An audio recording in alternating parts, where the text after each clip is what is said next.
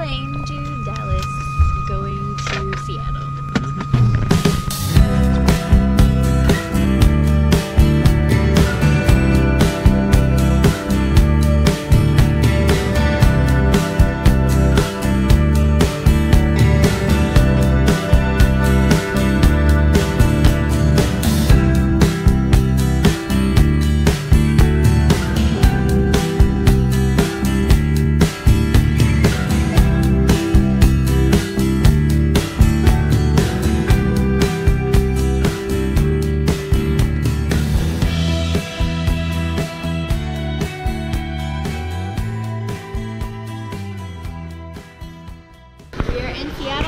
Seattle. John tell them where we are. We're at the Pike Place Market.